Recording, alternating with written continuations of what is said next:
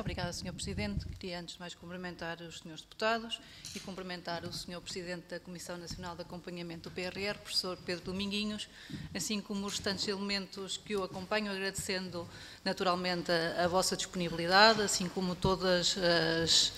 esclarecimentos que nos estão a ser prestados. E queria também começar por enaltecer o importante trabalho que está a ser efetuado por esta Comissão, que tem sido de um imenso escrutínio, de um exemplar rigor, e o relatório elaborado e as respectivas conclusões e recomendações, que são um instrumento de imensurável valor na senda da execução do PRR, pois ao identificar quais os investimentos que necessitam de maior acompanhamento e ao sugerir também propostas que poderão acelerar a execução do PRR, a Comissão está a contribuir para aquilo, para aquilo que todos nós ambicionamos, que é uma plena execução do PRR e o saldo transformador que o mesmo trará para, para a nossa economia.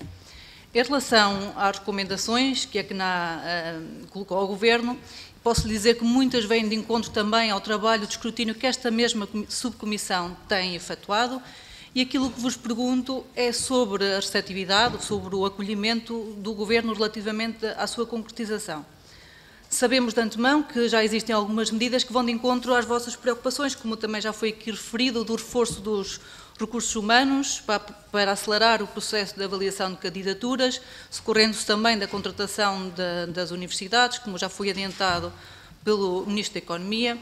ou também a medida apresentada a semana passada de aumentar para 23% o adiantamento das verbas das agendas mobilizadoras e que ajudará em muito as empresas a acelerar a execução dos projetos e aumentar a percentagem de pagamentos aos beneficiários finais e que era uma recomendação uh, da CNAP.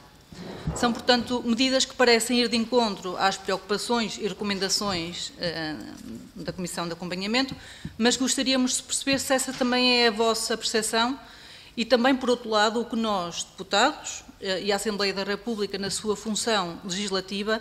poderemos também contribuir para uma mais célere execução do PRR, sem comprometer, como é óbvio, o rigor e a transparência que naturalmente se exigem num instrumento desta natureza. Por outro lado, gostaria igualmente de perceber a vossa opinião relativamente à reprogramação do PRR, nomeadamente se esta pode também representar uma oportunidade para corrigir algumas das situações assinaladas como de maior preocupação.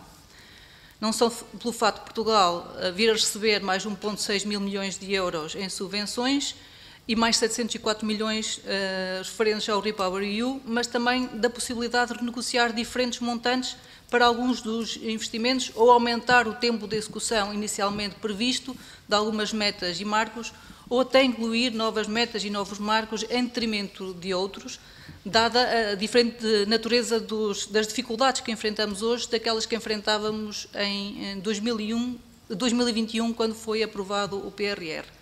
E, por fim, gostaria de, de perceber a vossa opinião, opinião eh, relativamente à possibilidade de existirem eh, projetos cuja execução se encontrem em causa, em risco. Isto é, se nesta fase, e na vossa opinião, seria mais ajustado deixar cair algum investimento para uma execução total do PRR ou se existem condições para atingir os objetivos da globalidade do PRR, tendo em conta que o Governo também já adiantou a possibilidade de outras formas de financiamento, como foram agora também uh, nomeadas pelo Sr. Presidente. Muito obrigada.